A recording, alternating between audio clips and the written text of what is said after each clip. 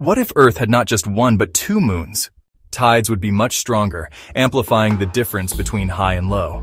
Coastal areas and even river estuaries could see flooding twice as often. And with two moons in the sky, our nights would be dramatically brighter, forever altering human activity after dark.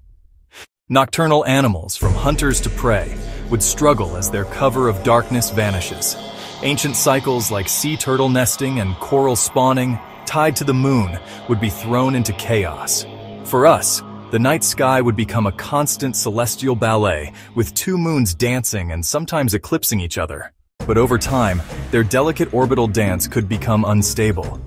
Gravitational nudges might pull them closer together, leading to a catastrophic collision. The resulting explosion would send a shower of debris raining down on Earth, creating spectacular but dangerous meteor showers.